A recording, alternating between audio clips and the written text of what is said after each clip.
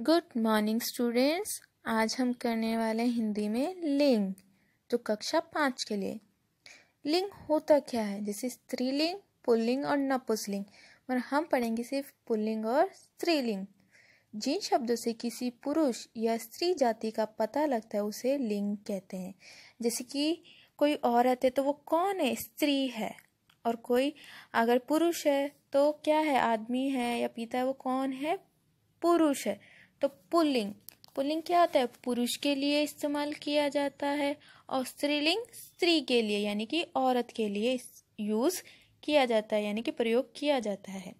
तो यहाँ पे मैंने कुछ शब्द लिए हैं जो पुल्लिंग है। पुल्लिंग से स्त्रीलिंग में उनको किया गया है। पहला पुल्लिंग जो है आपका बेटा। स्त्रीलिंग क्या होगा? बेटी।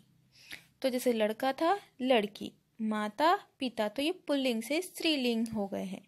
सखा, सखी, मोर, मोरनी, डिब्बा, डिबिया, पंडित, पंडिताइन। यहाँ पे ध्यान दीजिए कि कुछ शब्दों के बाद चेंज हो जाता है। से पंडित का, पंडिताइन किया है मैंने। डिब्बा का, डिबिया तो छोटी की मात्रा। नौकर नौक रानी गायक, गायिका।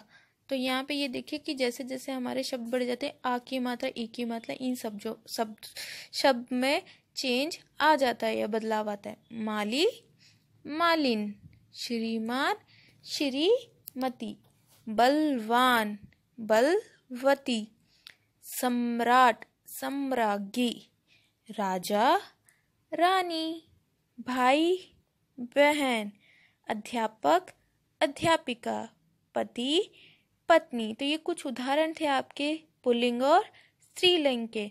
इसी तरीके से और भी होते हैं। धन्यवाद बाय